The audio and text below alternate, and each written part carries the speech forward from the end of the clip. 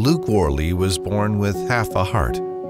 In his seven years, he has been through five open heart surgeries, a massive stroke, a brain surgery, and lots of pokes and prodding. So many things he's been through in his short little life. Luke has spent the last couple of months in the hospital.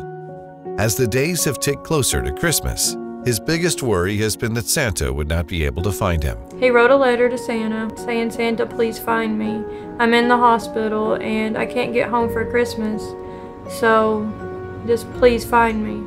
That's when the medical center staff stepped in and made some magic happen. His letter made its way to a nurse and then to another Cincinnati Children's employee who found a way to get the message to Santa. So once Santa got the letter, he delivered a present for Luke under my tree here at work.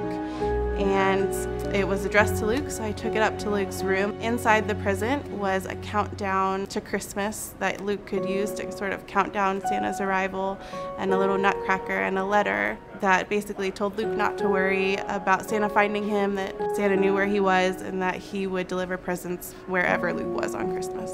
Late one night, in the days before Christmas, Luke's doctor came in with another surprise. He told the family Luke was getting a new heart. You know, we thought Luke was asleep. So little, little Luke popped up and he said, What'd you say? And uh, he said, Luke, you've got a heart. Luke said, you know, he said, That's all I wanted for Christmas. When the doctor come in and said his heart's here, we couldn't believe it. It's really like a Christmas miracle. So, like a storybook Christmas story, Luke had a life saving surgery.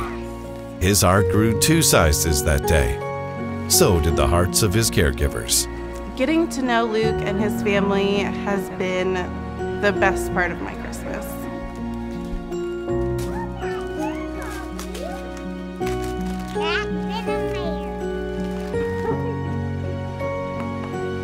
Merry Christmas.